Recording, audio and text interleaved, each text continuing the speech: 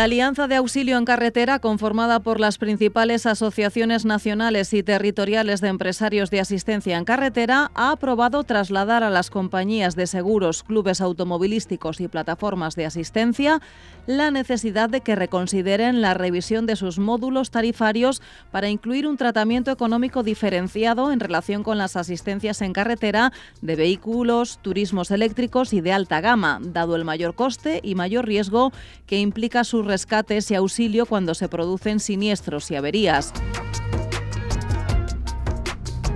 La alianza recuerda que el incremento en los precios de las pólizas del ramo de automóviles relativo a estas tipologías de vehículos no se está trasladando a los servicios que prestan las empresas de auxilio cuando son objeto de asistencia estos vehículos de alta gama o eléctricos.